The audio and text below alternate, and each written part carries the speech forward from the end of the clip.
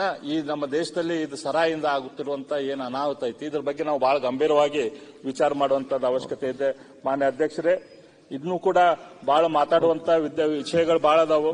ನಮ್ಮ ಕರ್ನಾಟಕ ವಿದ್ಯಾರ್ಥಿ ಸಂಘದ ಬಗ್ಗೆ ನಾನು ಲಾಸ್ಟ್ ಟೈಮ್ ಹೇಳಿದ್ದೆ. ಕರ್ನಾಟಕ ವಿದ್ಯಾರ್ಥಿ ಸಂಘ ಕನ್ನಡ ಹೋರಾಟದ ಕರ್ನಾಟಕ ಅಂತ ಹೆಸರು ಶುರುವಾಗಿದ್ದ ಕರ್ನಾಟಕ ವಿದ್ಯಾರ್ಥಿ ಸಂಘದಿಂದ ಮೊದಲು. ಹಂತ ವಿದ್ಯಾರ್ಥಿ ಸಂಘಕ್ಕೆ ಒಂದೇ ಒಂದು ರೂಪಾಯಿ ನೀವು ಬಜೆಟ್ ಸಪೋರ್ಟ್ ಕೊಟ್ಟಿಲ್ಲ. ಕಿತ್ತೂರು ಕಲ್ಯಾಣ ಕರ್ನಾಟಕದ ನಿಗಮ ಅದನ್ನ ಅಭಿವೃದ್ಧಿ ನಿಗಮನ ಚಾಲು ಮಾಡಕ್ ಕೊಟ್ಟಿಲ್ಲ. ನಮ್ಮ ಕರ್ನಾಟಕ ಯೂನಿವರ್ಸಿಟಿಯಲ್ಲಿ ಬಸವ ಪೀಠ ಐತಿ.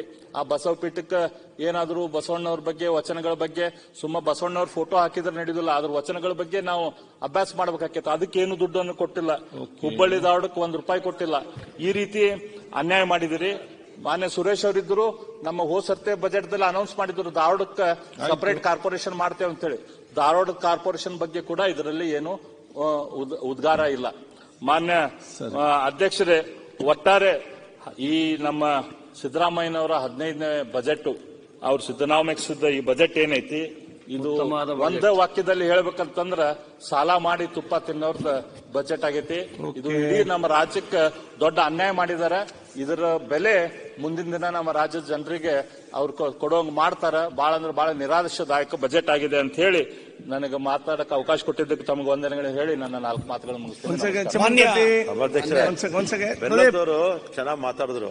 ಆದ್ರೆ ಅವ್ರ ಕ- ಅವ್ರ ಸರ್ಕಾರದಲ್ಲಿ ಎಷ್ಟು ಸಾಲ ಮಾಡಿದ್ರು ಎಷ್ಟು ಬಿಲ್ ಬಾಕಿ ಇಟ್ಟೋದ್ರು ಅಂತ ಮಾತ್ರ ಅದ್ರ ಬಗ್ಗೆ ಮಾನ್ಯ ಸಭಾಧ್ಯಕ್ಷರೇ ಎಷ್ಟೈತಿ ಇಲ್ಲಿ ಇಟ್ಟೋಗಿರಲ್ಲ ಅದನ್ನ ಹೆಂಗ್ ತಿರ್ಸದಂತ? ಎಕನಾಮಿಕ್ಸ್ ತುಂಬಾ ಸುಳ್ಳುಗಳನ್ನ ಪ್ರತಿಪಾದಿಸ್ತಿದ್ದಾರೆ.